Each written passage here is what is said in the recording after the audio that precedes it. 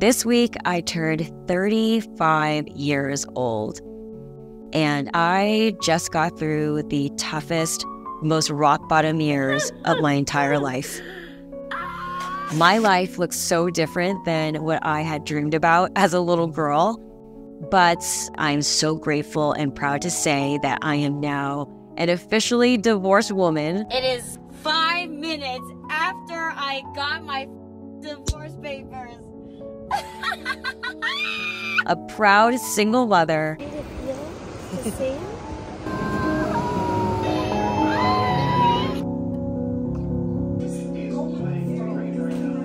And starting my life over from scratch at 35. And the feeling I have right now is like I just got reincarnated into a different timeline.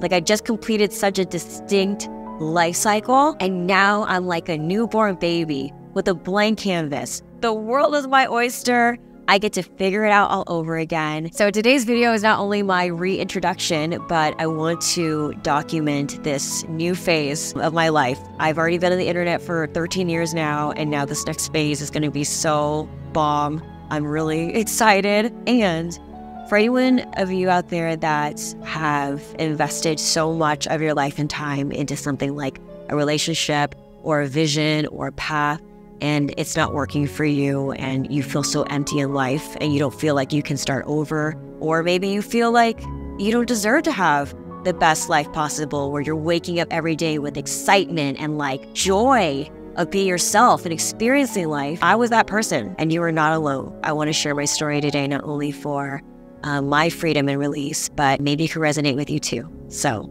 let's go.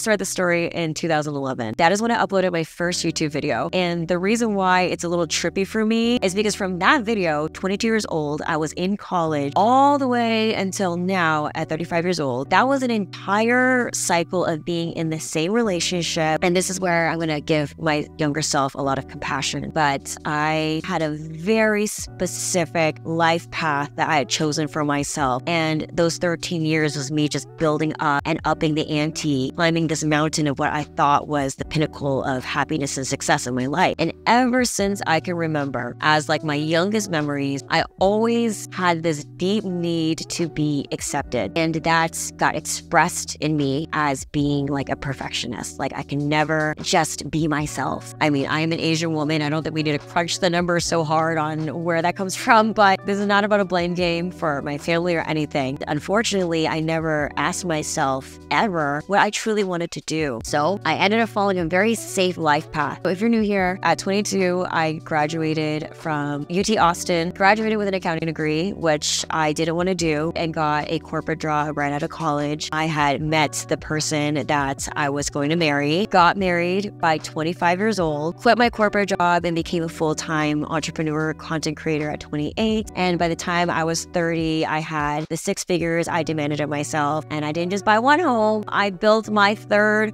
hole. I mean, I needed to flex so hard to prove something. Every time I reached each milestone of arrival and success, I felt more and more empty because the expectations of what I thought I was doing failed me so hard. I mean, this is so embarrassing to admit, but my parameters for getting married was I just have to get married by 25. Like, it don't matter who, just whoever's around because I wanted to be young. I wanted to have five or six years before I had my kids. I thought that you're supposed to get married, that a woman just can't do it on her own. You're supposed to be in a couple. Like a life decision like that was trivialized as like a checkbox that I needed to check. And seriously, like for who? Like, I'm the one that has to spend my life with this person. I thought I was creating this perfect life that was perfectly timed. And what I was really creating was a prison. And I neglected the most important thing, which is myself. What the hell do I want to do in life? I never prioritize happiness. I never prioritize life purpose. I never prioritize fulfillment. I never, I mean, like, I just did not have the mindset to pursue a happy life. I was only concerned about the outward perception of what you should do and what is deemed as successful in society or what my parents would think of me. Like, it's a very empty way of living. But I did it, and I am grateful for all those lessons now. So, fast forwarding to when I hit my 30s, five years ago, um, I started to question.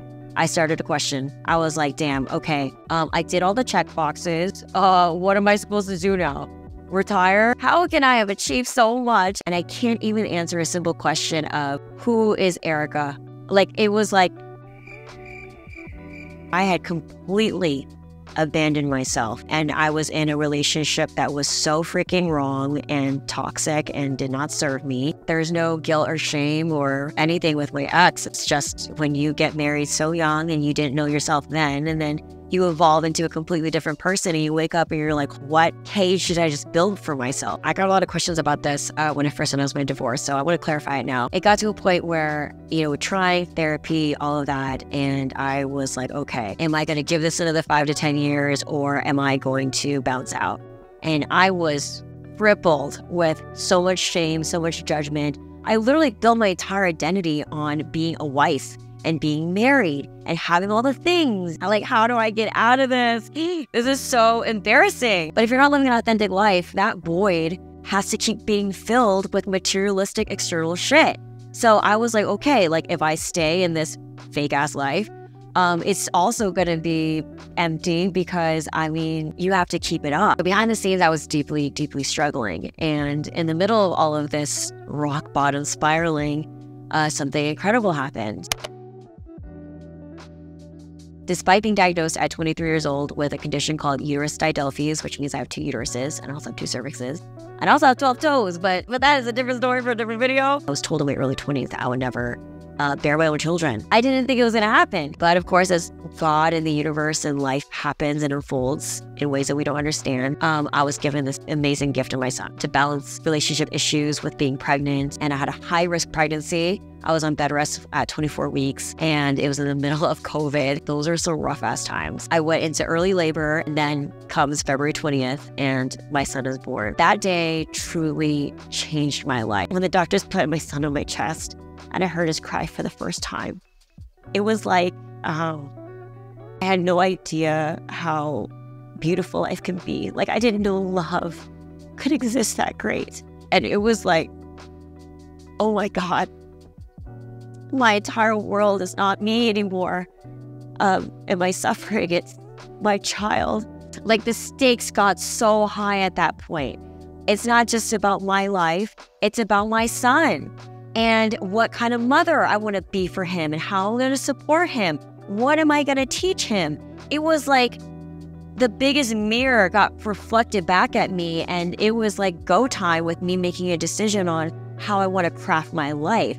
What kind of household do I want my son to be raised in? What principles and values do I want to teach him?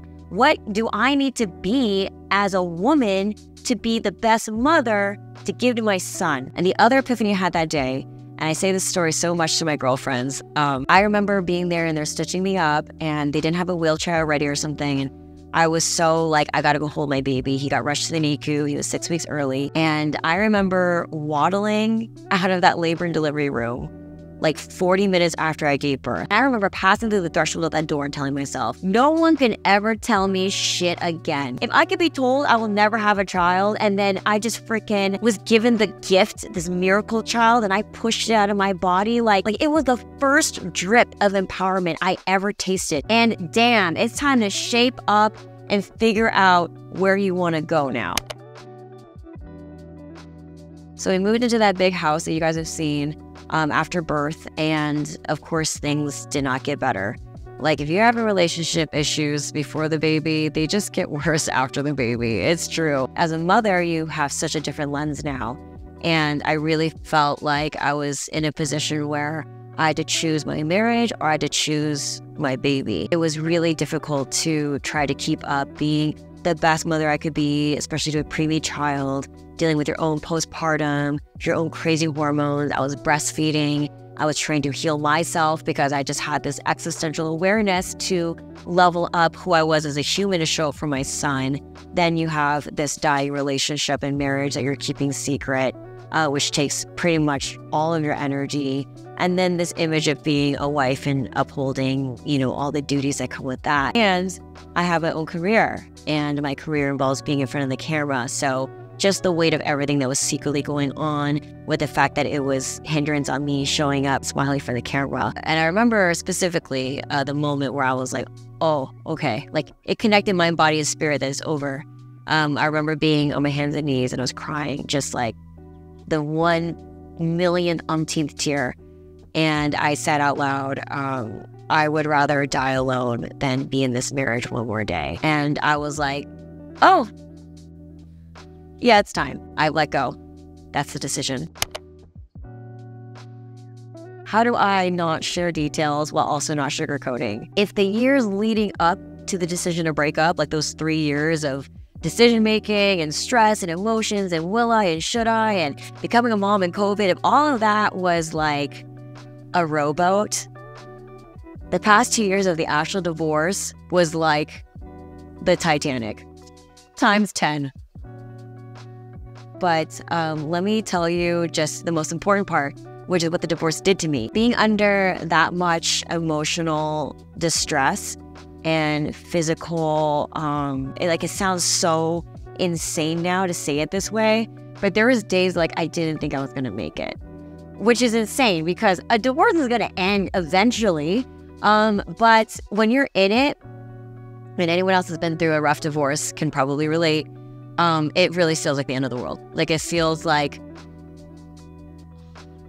I can make a whole video series about surviving a divorce, but I completely transformed as a woman. It forced me to level up with skills that I never even had before. Judge Bompiani has one of my best phrases, and it's like, it's not what you do to get through the divorce, it's who you have to become to get through the divorce. Well, I mean, God, the legal system, to have all those dynamics going in a container that you have freaking no control over is devastating. But especially for the questions I get about if I made the right decision or not, even in the lowest pits, and there were many of the entire journey, never once did I question that I was making the right decision. So it was never about, oh, am I doing the right thing? It was only a matter of surviving the storm. The crazy thing about a divorce is at the very beginning, you have your tangibles, your intangibles, okay? You've got all the stuff. You've got your joint finances, you got your home, you got your car, you got all the material shit that you think you care about, okay? And then you have the intangibles, like your peace, your harmony, your new life, your freedom, your self worth, your self love. And in the beginning, it's like you're just fighting over this shit. I started to realize, oh my God, this is the only thing that mattered. I looked at my ass a couple years ago where I would spend months, you know, obsessing over what $3,000 credenza I was going to buy for my foyer. Um, I literally eat off of a $20 card table right now as my dining table. And I've never been happier in my entire life, baby. like to have all of these external materialistic shit define me and control me. Now they have no power over me. I really, it's like, like in the bottomest pit of hell. I found myself and my priorities in life got reshuffled in a way that it like literally had to take that much torture for me to reframe myself. The only thing that matters is my peace, my freedom, and my child. With the support of my friends and my family, I am forever indebted to my support system because I was so lucky to have one um, in order to survive and get out. And I am like given this second chance at life. And I don't take it for granted one freaking minute. Like, if I'm to have the second chance of life, I am going to rebuild myself and reinvent myself in the most powerful way that I did not give myself the opportunity the first go around. Instead of having this stringent way of, I need to have this thing and I need to be this, it's like, I'm going to be a thriving, healthy, happy woman. I'm going to be that for my son. I'm going to give him all the freedom and space to just exist and be happy. I mean, literally, I'm 35 years old and it's news to me that I was just born worthy and loved and I deserve to be cherished. Like that, I mean, that's news to me. So now I don't have to front anymore. I don't have to flex. I don't have to be fake. I don't have to be anything but myself now. And I get to lead my life with love and what my soul desires. I mean, like, oh my God, forgot all the things that I loved. Baby, your 30s are the best. I've never felt more sexy, more powerful, more capable. Now that I'm on the other side of it, I can tell anyone else out there, every tear, it was all worth it. Because at the end of the day, I always tell myself this if I'm sitting on my deathbed, you're not only gonna like meet your maker, right? But you have to answer to yourself Did I live a life that I can be proud of, that I'm happy about? Like, I don't want to be sitting on my deathbed being like, oh, I'm so glad I did what that person told me to do. Hell no. You want to sit here and be like, damn, this is what I did. These are the children I raised. This is the legacy I left. I had so much fun doing this, this, and this. I traveled to this place. I ate this food. What a good life. That is what I want to say to myself. So that is what helped me with my decision to just say, it. I don't care how hard it is to get out. I'm going to fight my way out of this. Now I get to do it all over again. My way, my turns with this fresh perspective of gratitude and love. I appreciate it now because I had to lose it all and walk away from it all to get it. Oh, baby, damn, I feel so good right now. This next chapter, it is going to be such a long journey of healing, but that's okay because I'm giving myself the grace and compassion to just go with it. I perfectly planned every little thing of my life from like teenage years. And now, this next chapter, I don't gotta stress. Like, I'm gonna figure it out as I go, one step at a time. As a thriving, independent, working single mother, I am co parenting, by the way. So, both of us prioritizing my son's well being and health is the most important thing. I don't need to be stressing like that anymore. I don't need to be worried about outcomes. I need to just purely take every day as the gift it is and trust that it's all going to work out. Anyway, if you made it this far and you're interested in the content, um, I've got so much more uh, to provide you in terms of value and difference of content. Of course, I'm going to be doing style. I haven't really been focused on what I look like uh, the past couple years. So I'm going to be actually doing something really fun uh, later on this year, uh, getting rid of everything and reinventing my entire style from scratch. I can't wait to take you guys on that journey. It's gonna just unfold a little bit slowly, um, just because I'm like, I want to do like maybe Q and A's. You guys can just tell me what you guys want to hear about that. We still got the travel and style. Don't worry, I'm not abandoning why you guys subscribed to me in the first place. But drop any ideas of what types of videos you guys want to see down below in the comments. Give your girls a like, subscribe. Thank you guys for everything and supporting me. New life, baby. Love you.